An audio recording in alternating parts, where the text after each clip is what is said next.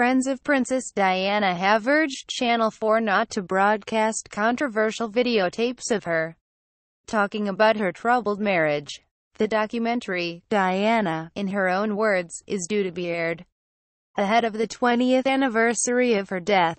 The tapes, recorded by her speech coach, have never been seen in the UK. Channel 4 said they provide a unique insight but Diana's close friend Rosa Monckton said they were a betrayal of the late princess's privacy. Mrs. Monckton is writing to the broadcaster to ask them not to air the tapes.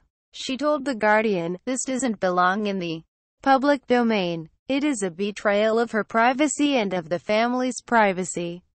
The footage was recorded by Peter Settelen, who was hired by the Princess of Wales between 1992 and 1993 to help with her public speaking voice.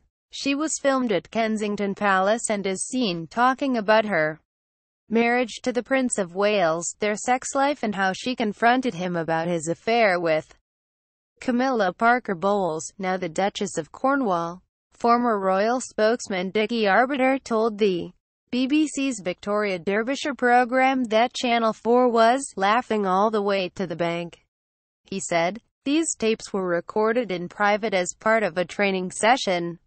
Anything done behind closed doors remains private. Royal biographer Penny Junor added, I think it is quite obscene that they are showing this, and immoral, frankly.